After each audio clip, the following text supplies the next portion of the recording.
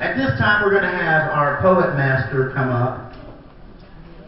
Kathy Knepp, she has our first poem of the, of the day.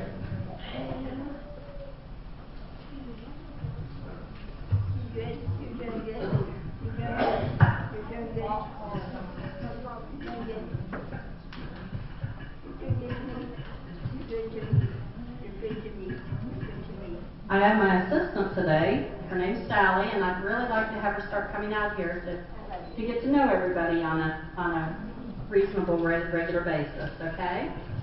Um, she doesn't fight, so you don't have to worry about that. She, uh, she's hurt right now, so she's a little wobbly, so bear with her.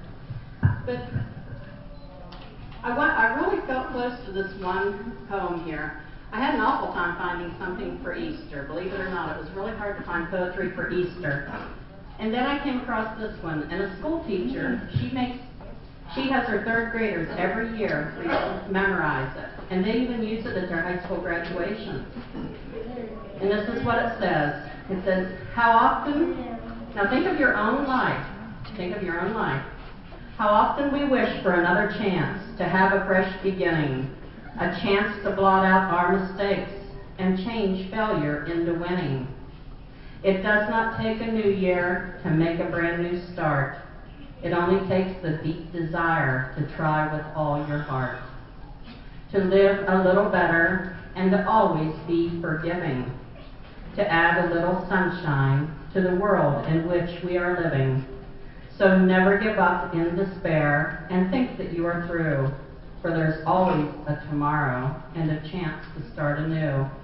And if you haven't guessed, that was by my favorite um, poet lady, and that was Helen Steiner Rice. Okay, thank you. Thank you.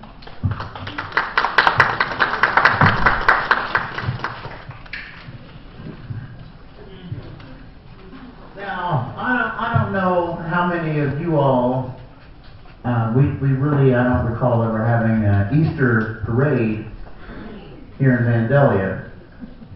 But I guess back in the day, it was quite the event.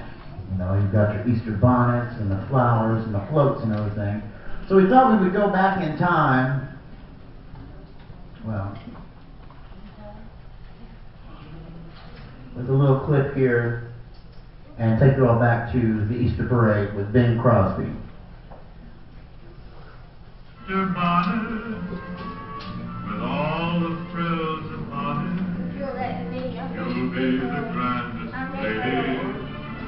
Easter parade.